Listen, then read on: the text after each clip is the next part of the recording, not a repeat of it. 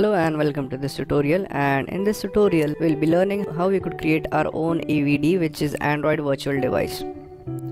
So in order to create your own AVD or Android virtual device you just simply go on this icon which is nothing but the AVD manager which manages all of your Android virtual device. So we simply click on it and as you could see we have two virtual devices with us right now. Now the first device is nothing but the copy of Nexus which I've already created and the next device is the Nexus 5. Now in this tutorial we are going to create a new device and in order to create a new device what we are going to do is that instead of just editing one of these devices we are going to create a copy of one of these these device. So so in order to create a new device you simply go on create virtual device. And in this we are going to select some device. So let's say we want let's use nexus 5 because it suits our requirement.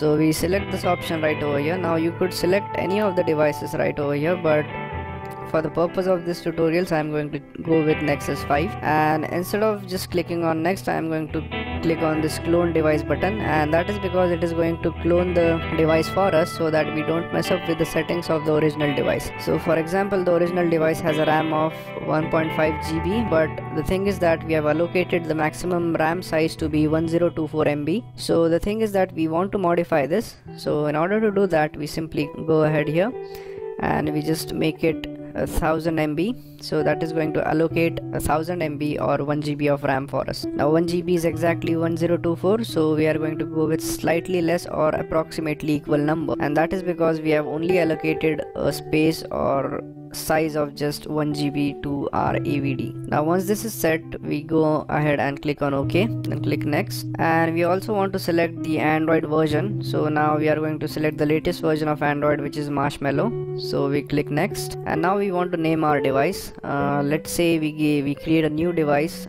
and let's name it as my Android.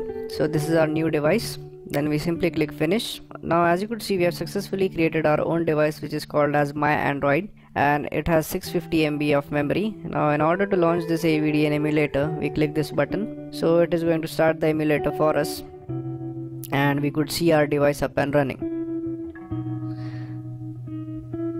So if you create a new AVD it is going to take up some time and that is because it has to just duplicate the running of the Nexus 5 device from scratch. So as you could see our emulator has started and our phone is booting up.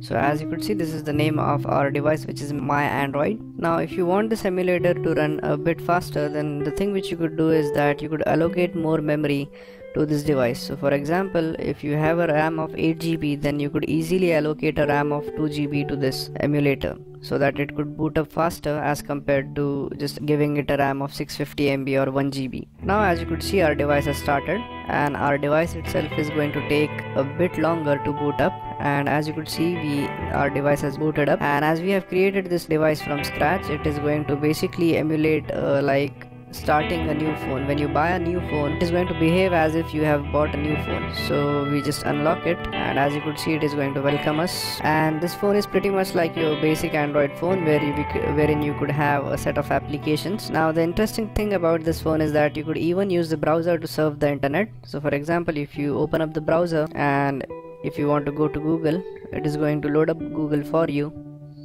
And you could pretty much use this browser uh, as you use it in the phone so if you want to search something you could just go ahead and search anything. So for example if you want to search android studio it is going to show you the results with android studio and you could use it like a basic phone. So basically this is how you create your own android virtual device by using the android avd manager. And the main purpose of learning this is because when you uh, develop your own application so you want your application to be tested on each and every device so as to make sure that your application runs smoothly on every device so that's why you create a basic virtual device so that you could test your app onto it. So that's it for this tutorial and i hope you guys understood how you could use the android avd in order to create your own android virtual device such as this phone which we have created which is my android. And you could pretty much also allocate some memory or the ram to it so as to make it run more faster. So make sure that you choose a proper ram depending upon your configuration. So for example if you have a 4 gig